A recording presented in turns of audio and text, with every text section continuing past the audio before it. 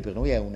è un momento bellissimo, è un'annata speciale perché siamo ritornati in Europa dopo vent'anni, abbiamo fatto un percorso importante, vincendo otto partite di 14 giocate, pareggiandone 4, andando ad espugnare il San Mamés, cosa che nessuno aveva mai fatto prima di noi. Il Napoli quest'anno è stato eliminato dal, dal Bilbao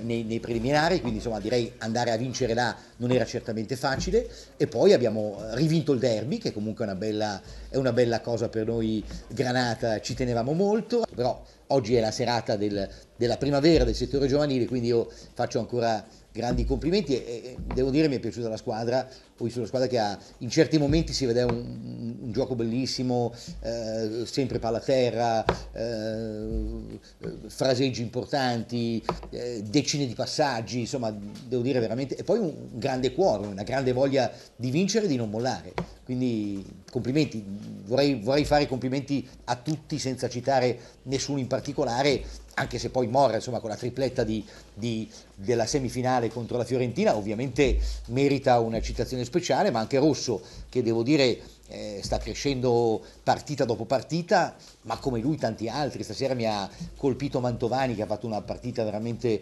eccellente, Zaccagno che ha salvato in un paio di occasioni il risultato, ma anche vorrei dire Zenuni piuttosto che, eh, che De Bellieu che ha lottato e non ne perdeva una, ne prendeva tutte lui, eh, piuttosto che insomma, devo dire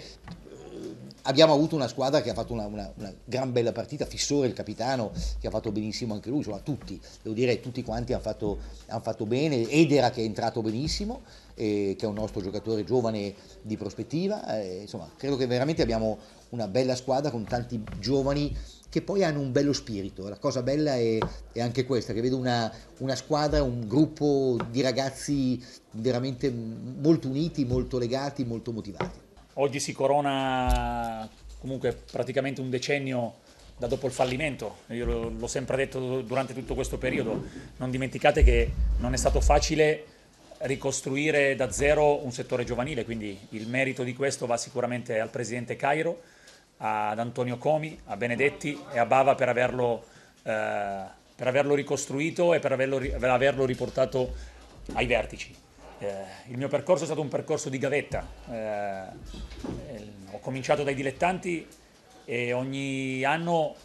mi sono guadagnato, penso sul campo con i risultati, la possibilità di avere un'opportunità sempre migliorativa per cercare di, di puntare sempre ad obiettivi più, eh, più alti. Eh, per quanto riguarda la nostra politica eh, di mercato, è una politica che riguarda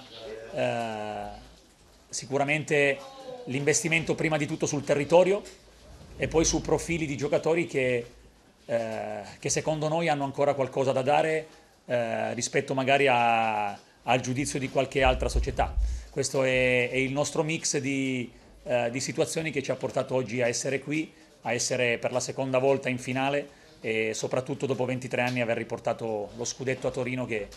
penso che in fatto di storia di settore giovanile non abbia, non abbia uguali.